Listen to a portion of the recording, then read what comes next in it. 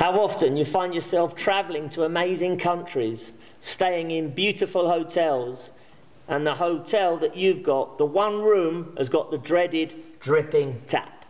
You only realise this once you try and get asleep because you're jet lagged, you turn the light out, and you hear drip, drip, drip, drip. It drives you bonkers. The torture. It will kill you. You'll never sleep in a million years.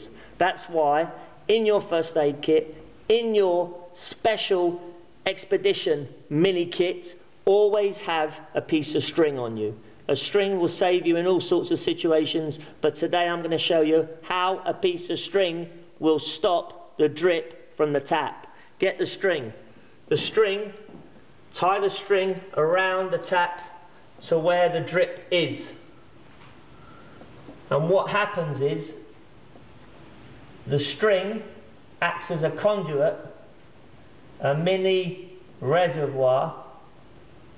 The water can run down the string like a mini river and there's no sound, enabling you to have a lovely night's sleep.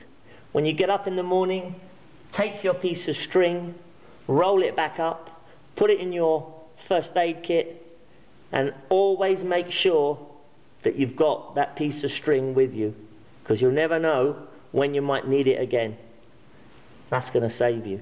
Trust me, I've been there too many times.